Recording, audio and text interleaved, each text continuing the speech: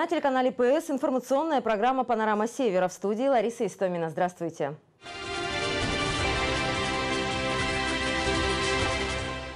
Сегодня во всех российских школах прозвенел последний звонок. Праздник радости встречи с новой взрослой жизнью и грусти расставания с детством и юностью. Наша съемочная группа услышала последний звонок в 28-й школе Архангельска. Белые банты и ленточки с надписью «Выпускник» как символы уходящего детства. 73 ученика 28-й школы сегодня в одночасье стали взрослыми. В этих стенах постигались азы наук, здесь родилась первая любовь, были первые общие победы. У нас 11 класс, он выиграл царницу в городе и участвовал в области. Сплочился в, в единый монолит такой, э, и стали дружны. Учителя стали как, тоже, как уже друзьями, и учителя, а, учителям огромное спасибо за то, что они нас преподавали все эти 11 лет. С нескрываемым восторгом преподаватели смотрят на своих повзрослевших Ашек и Бэшек, которых когда-то учили читать и писать, для которых стали верными помощниками и надежной опорой в школьные годы, как, например, в 11 Б. Я их учила седьмого класса физику, а вот именно в десятом они раскрылись каждую. У каждого можно найти какую-то отличительную черту от всех. Мне, конечно, очень жалко с ними расставаться. Очень умный класс, очень одаренный. Сегодня школьники не скупятся на стихи, благодарности и эмоции. В них вложена душа. Ну вот и все, пора прощаться. Звезды дорогу у нас мечта. Но как же трудно расставаться с любимой школой навсегда. Слезы расставания, улыбки учителей, напутствия взрослых. И вот зал замер. Звучит заливистый звон колокольчика, предвестник перемен для каждого выпускника. Этот момент, когда звенит последний звонок, это мурашки по коже, это замечательно. Выступление первоклассников, родителей, учителей – это что-то внутри такое, что наворачиваются слезы, и уже совсем не хочется уходить. Таким он был, последний звонок для выпускников 28-й школы, как и для 1800 архангельских школьников, которые сегодня заканчивают 9 и 11 класс. От имени мэра города Архангельска Виктора Николаевича Павленко мне выпала большая честь сегодня поздравить не просто будущих журналистов, юристов, будущих писателей, будущих спасателей, но поздравить прежде всего достойных будущих жителей города воинской славы, города Архангельска. Помните, что вы закончили школу, вы получили путевку в жизнь в городе Архангельске, вы архангелогородцы. И мы, где бы вы ни учились, где бы вы ни получали свою будущую профессию, мы искренне ждем вас в нашем любимом городе. Вы нам очень нужны.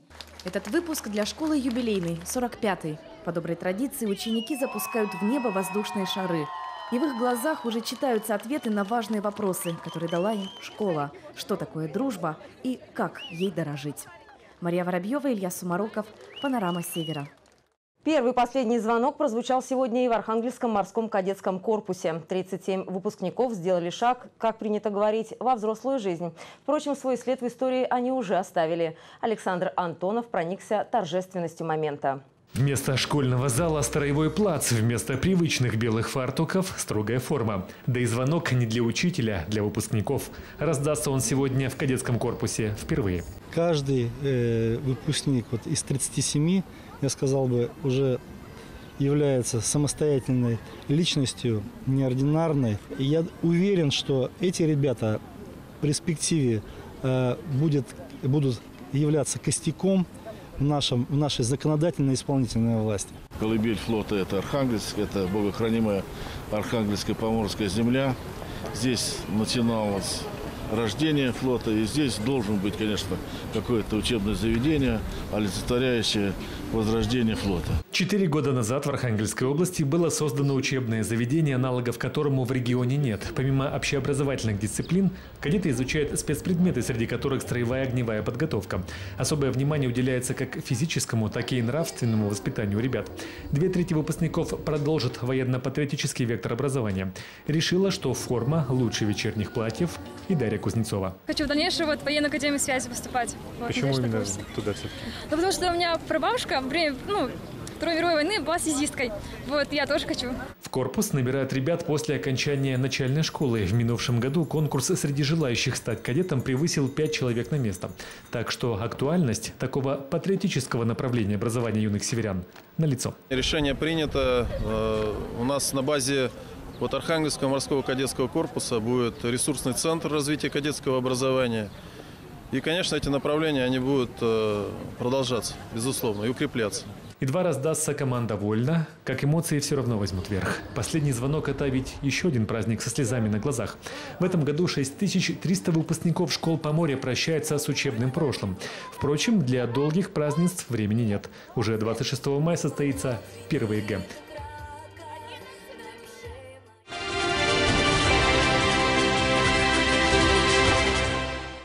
Приближается лето и вместе с ним долгожданный отпуск. Те, кто желает провести его за пределами страны, спешат оформить и получить загранпаспорт. Артемий Заварзин выяснил, что процесс этот до сих пор не быстрый.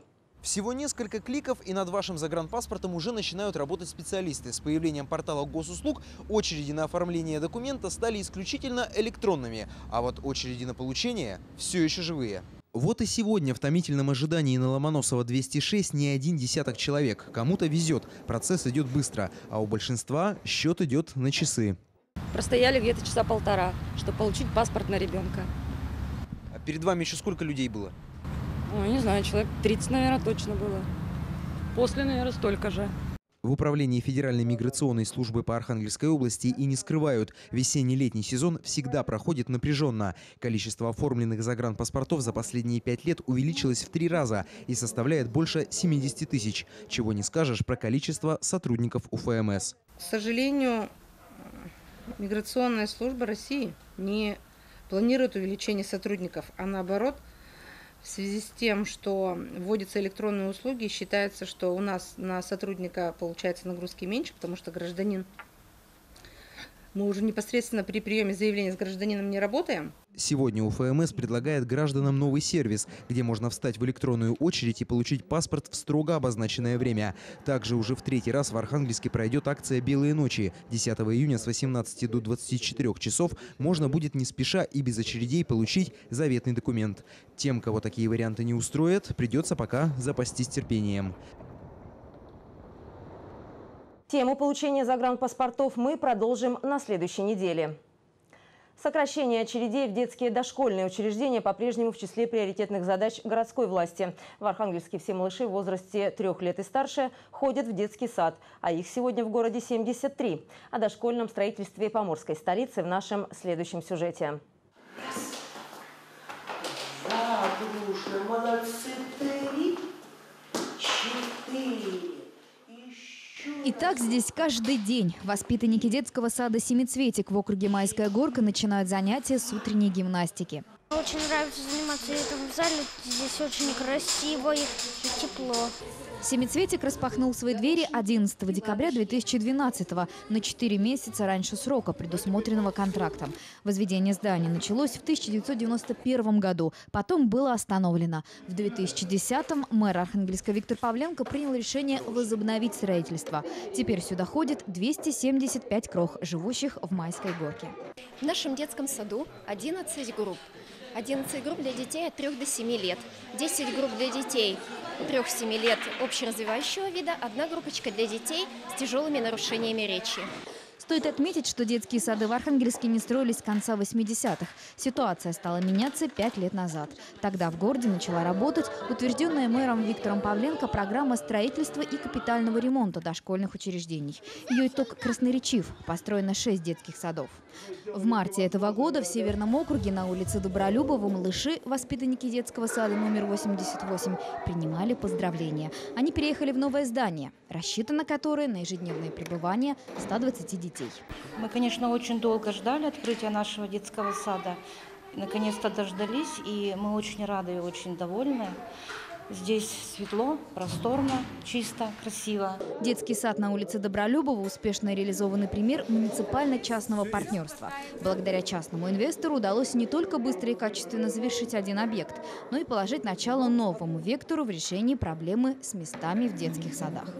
Мы в этом году в шести детских садах откроем еще группы, это 120 еще мест. Это фактически еще один детский сад. И совместными усилиями на Полиной Осипенко 7 корпуса 2 по программе э, «Дорожная карта детских садов» по указу президента. Еще откроем детский сад, сад на 220 мест.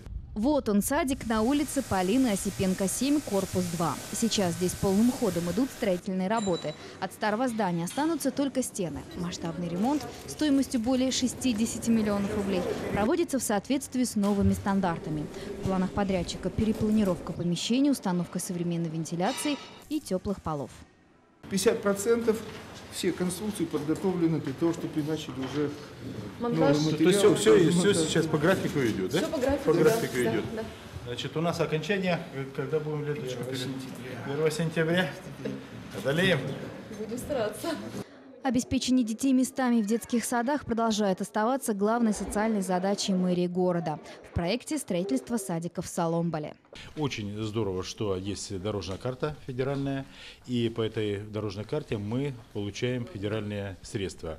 Э, То есть софинансирование из муниципального бюджета, часть с регионального бюджета и с федерального бюджета. Наша вот позиция, которую мы уже в течение там, шести лет ведем, э, возвращать э, бывшие детские сады в нашу систему и их ремонтировать. Возвращение зданий бывших детских садов – неотъемлемая часть сегодняшней социальной политики муниципалитета. Архангельских дошколят снова приняли. Детский садик «Облачко» в поселке Талаги капитально реконструированный за счет городской казны. Детсады «Сосенка», «Журавушка» и «Почемучка». К тому же мэрия города активно открывает дополнительные группы в уже существующих дошкольных учреждениях. Это и группы выходного дня, это оздоравливающие процедуры, это специальные занятия с одаренными детками или с детками, которые требуют нашего повышенного внимания. Новые группы удается открывать и за счет оптимизации внутреннего пространства действующих дошкольных учреждений. Только в прошлом году они смогли принять дополнительно 380 ребятишек. Однако все это не значит, что муниципалитет не продолжает капитально ремонтировать и строить новые дошкольные учреждения. Если мы выкупим э, те здания, которые планируем в 2014-2015 годы, и опять же их ремонт и реконструкция, то это еще порядка более 2000 мест. И таким образом в городе Архангельске проблема э, с предоставлением мест детям, э, которым исполняется 3 года в течение учебного года, она будет решена. Воспитание подрастающего поколения горожан, тем, кому строить и развивать Архангельск всего-то через пару десятков лет, по-прежнему остается одним из приоритетов социального и бюджетного строительства Поморской столицы. Ученики Новодвинской четвертой школы доказали, что в случае пожара могут организованно и без паники покинуть горящее здание. Такие профилактические мероприятия проводятся ежегодно в каждой школе и в каждом детском саду. Нина Стадульская наблюдала за ходом учений. Внимание, пожарная тревога. В зоне, где вы находитесь, обнаружено затопление. Всем немедленно покинуть здание. Для мальчишек младшего школьного возраста учебная тревога – лишний повод сбежать с уроков и порезвиться на улице в теплый майский денек. Но все же большинство ребят относятся к таким мероприятиям более спокойно и ответственно. По легенде, в здании четвертой школы загорелась библиотека на втором этаже. В считанные секунды сработала центральная система оповещения. Школа была обесточена. Ученики всех классов организованно покинули помещение и собрались на стадионе. Эти ребята хорошо проинструктированы, что делать и как себя вести в случае чрезвычайной ситуации. Выйти на улицу, надеть повязку и не паниковать. Во-первых, если увидели пожар, то сообщить учителю. Если нет рядом учителя, то нажать кнопку безопасности. И по возможности вызвать 112, пожарную тревогу, МЧС. Потом нужно собраться и не паниковать, так как паника начинает всех рассеивать и все начинают разбегаться. Нам все время говорили, чтобы не паниковать и выходить в одно помещение, в которое сказано, указано на пожарном плане. Тренировка по эвакуации детей и персонала учебных заведений Новодвинска проводится согласно приказа МЧС каждый год. Профилактические мероприятия позволяют выявить нарушения в области пожарной безопасности, скорректировать действия ребят и педагогов. Дети эвакуировались достаточно организованно, паники нигде не наблюдалось ни у младших, ни у старших.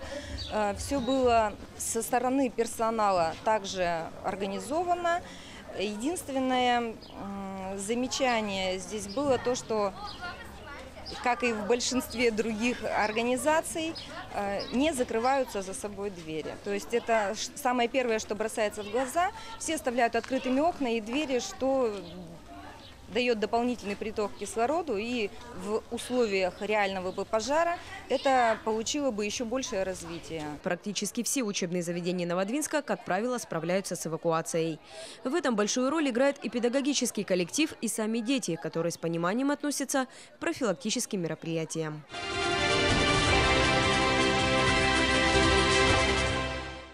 24 мая – День славянской письменности и культуры. Русская православная церковь в этот день празднует память святых равноапостольных братьев Кирилла и Мефодия, создателей славянской письменности. В столице Поморья завтра пройдет большой праздничный концерт «Славянское единство», посвященный Дню письменности и культуры. Мероприятие организовано в поддержку строительства Михаила Архангельского кафедрального собора. Александра Горелова спросила у жителей нашего города, готовы ли они внести свой вклад в строительство храма вкладываем по нему, ходим туда, даже в часовенку ходим, молимся и все время что-то вкладываем. Там ящичек есть, потому что хочется, чтобы его достроили, хочется, чтобы он был красивый. Нужно, чтобы было восхождение, как бы, чтобы в школах, в институтах, в ПТУ, в колледжах был какой-то урок, который духовно духовной нравственности как бы людей учил. Ну, я думаю, что администрация и вообще все вот этот город весь, который вот эти чиновники должны, мне кажется, больше всего вот это вкладывать, я так думаю. Никто ничего не собирает, поэтому непонятно, куда это нужно нести и что-то делать. Если бы они стояли, да, допустим, вокруг урны эти, куда можно было положить деньги, то, конечно, бы внес без проблем. Я готова внести свой вклад в это и считаю, что люди должны как-то вносить свой вклад, что-то делать, помогать, потому что это же для них нужно. Гость сегодняшней темы дня – руководитель епархиального отдела религиозного образования и катехизации Иерей Артемий Ведерников. Здравствуйте. Здравствуйте, Христос воскресе. Воистину воскресе. Завтра большой праздник, он связан с именами святых Кирилла и Мефодия. Для православных христиан это особая дата? Конечно, особая дата. Они родоначальники нашей письменности. Благодаря им мы и получили богослужение на, на нашем родном языке. Поэтому вот они, от них пошла и литература, и наша культура православная. Очень символично, что в такой день, 24 мая, в драмтеатре организован благотворительный концерт в поддержку Михаила Архангельского кафедрального собора. Как вы считаете, насколько важно аккумулировать общие усилия по строительству храма? У нас э, отсутствует как таковой кафедральный собор. То есть сейчас э, кафедральным собором считается храм Ильинский, храм Кладбищенский, чудом уцелевший в советское время. То есть основные все храмы большие, которые вот вмещали людей вот, на праздники, они были разрушены в советское время. Сейчас, когда мы говорим о возрождении российской государственности, когда мы говорим о духовно-нравственном воспитании наших детей, когда мы говорим о православии, и у нас отсутствует главный храм – нашей области, ну, конечно, строительство кафедрального собора для нас имеет огромное значение. К тому же сейчас уже многие заметили, как преобразился город в связи с вот, завершением монтажа куполов. Вот, и э, поэтому я, я считаю, дело, дело каждого вот, поучаствовать в этом. Есть, к тому же такая возможность есть еще. Ну, он красивый, да. А на какой стадии строительства храма сейчас? Вот как я сказал, вот недавно был завершен монтаж куполов, вот, и вот как мы видим, вот внешние работы в основном завершены, еще большие работы внутренние предстоят. В ближайшее время в планах э, э, налаживания богослужений в Нижнем храме, которые будут проходить не как вот по большим праздникам сейчас, угу. а будут проходить на регулярной основе каждую неделю. Угу. Подскажите, пожалуйста, а как можно сделать пожертвование на строительство собора? На, на епархиальном сайте есть реквизиты для перечисления угу. пожертвований, и также вот каждый желающий может это сделать вот в любом храме. Находятся ящики для пожертвований на строительство вот, собора. И они пойдут на собор? Конечно. Да? Спасибо большое. Напомню, гостем нашей сегодняшней рубрики был иерей Артемий Ведерников, руководитель епархиального отдела религиозного образования и катехизации.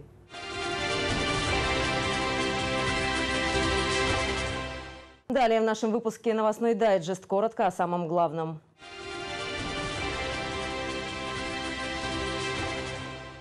Сегодня в Архангельске прошла пресс-конференция о предварительных результатах весенне-полевых работ этого года. Картофеля предполагается вырастить на четверть больше. Посевные площади под зерновые увеличились в среднем на 10%.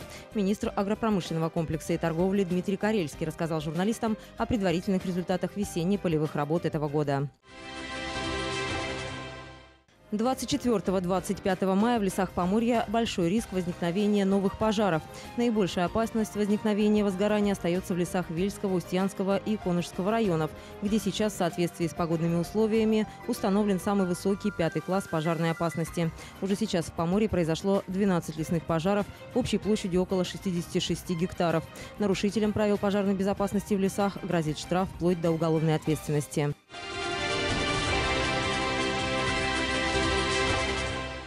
В рамках празднования Международного дня семьи в Архангельске прошел 12-й городской конкурс «Эстафета семейного успеха». Имена победителей узнала Мария Воробьева. Пожалуй, нечасто в актовом зале ГКЦ можно встретить столько династий педагогов, врачей, военных. Леонида и Зои Завьяловых объединила работа на СМЗ. Общий трудовой стаж династии из 11 человек. На заводе 230 лет. А вместе пара Леонида и Зои уже 56 лет. Победители городского конкурса «Эстафета семейного успеха» в номинации «Профессиональная династия» поделились секретом своего счастья. А надо понимать друг друга, Да. любить, Да. общие дела, Да. одни стремления, можно сказать, мы не ссоримся увлечения. никогда. Мы никогда не Да. ссоримся. Вот Мы друг друга понимаем, мы все делаем вместе. Я могу молоток взять на даче поколотить, он может э, обед сварить. Полы, как поженились, полы вместе, то вместе, ну всё все вместе. вместе. Мы все вместе пополам. делаем. Бок о бок Яна и Дмитрий Амосовы не только идут по жизни, но и плывут по воде. Они поклонники водного туризма и грибного слалома. Как итог, победа в номинации «Спортивная династия». пример э, другим э, семьям, что нужно заниматься спортом и как бы не- даже не с точки зрения профессионально, но поддерживать свою физическую э, состояние. То есть это вот приносит только плюсы. Спорт, он объединяет. А, Люди спортивные, это очень открытые, доброжелательные люди. Поэтому мы э, ведем пропаганду здорового и спортивного образа жизни. Как эстафетная палочка передается в семьях конкурсантов из поколения в поколение. Увлечения, традиции, приверженность к определенным профессиям и даже хобби. Все это участники должны были отразить в своеобразном портфолио. В этом году в эстафете семейного успеха приняли участие 15 семей. Вот уже 12 лет мэрия города проводит эстафету семейного успеха. За эти 12 лет в эстафете приняло участие уже более 200 семей города Архангельска. Семья является основой жизни для каждого человека. Ведь только в семье человек может быть гармоничен, только в семье он чувствует себя защищенным, только в семье он по-настоящему счастлив.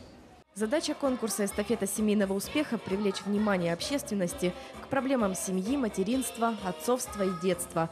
И каждая из этих династий – наглядный пример крепкой дружбы и преемственности поколений в своем роде. Мария Воробьева, Илья Сумароков. Панорама Севера.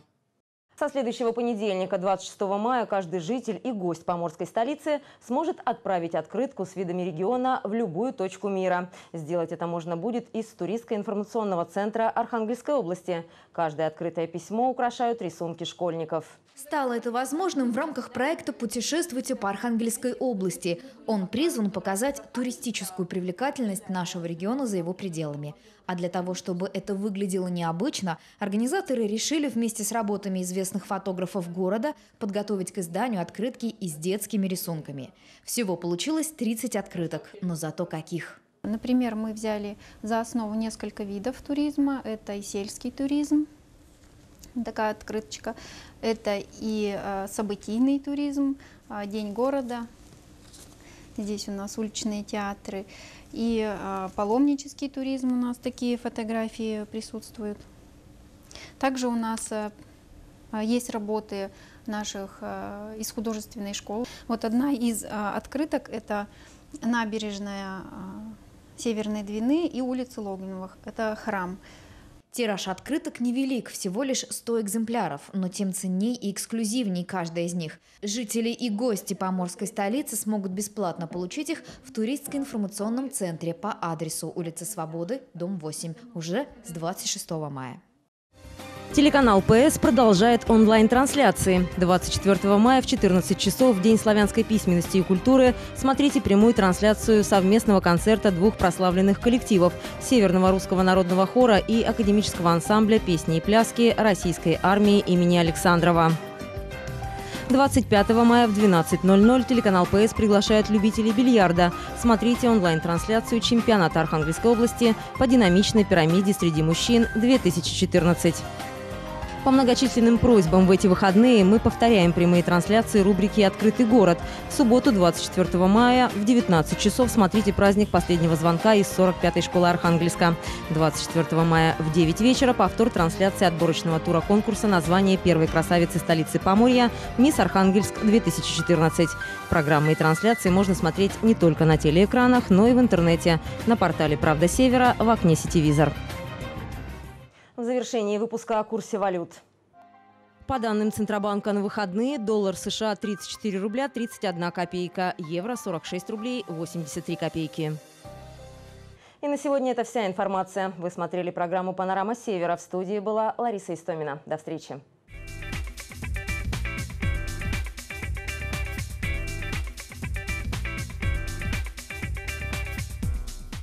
Здравствуйте, это прогноз погоды с Юнисом на телеканале ПС. И знаете, сегодня хотелось бы процитировать Шекспира.